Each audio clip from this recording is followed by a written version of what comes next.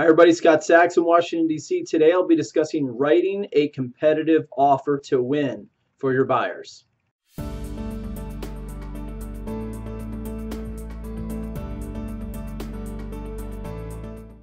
Hi, everybody. Scott Sachs in Washington, D.C. Today I'll be discussing writing a competitive offer. And we're in a market right now where it's definitely a seller's market. There's very low inventory. We've got buyer demand. So, what that means as a buyer is you need to be ready to write competitive offers. What that means for a seller, obviously price is incredibly important, but you get to a point where you can only go so high, whether it's using an escalation clause, etc., where the price makes sense. So you have to look at other ways to make your offer compelling. Ways you can do that are number one, settlement date. Making sure that the settlement date that you select corresponds with what is most ideal for the seller. If it's vacant, doing a 30 day settlement and making sure the lender can meet those deadlines is very important. If they're looking for a home, giving them 60 days plus a post settlement occupancy is something you should consider doing. You need to be amenable to the needs of the seller in those situations. Here are the other ones. Your standard contingencies in any offer are an appraisal contingency, a financing contingency, and a home inspection contingency.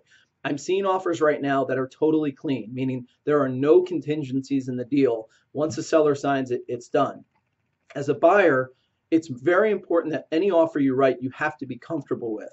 And so going through the process and having this dialogue with your real estate professional is very important in understanding the implications of that. But once you do, it is important to be able to write an offer that's going to be a winning offer, whether that means waiving your home inspection contingency, but doing a pre-inspection prior to offer deadline so you know any adverse conditions with the property and are comfortable moving forward without having that inspection in place. Or speaking with the lender prior to that offer to make sure you're already fully approved, you provided all your loan docs and it's been underwritten, or that the appraisal amount might be comfortable for them where you're comfortable waiving either the financing or a portion of those contingencies so that your offer stands out.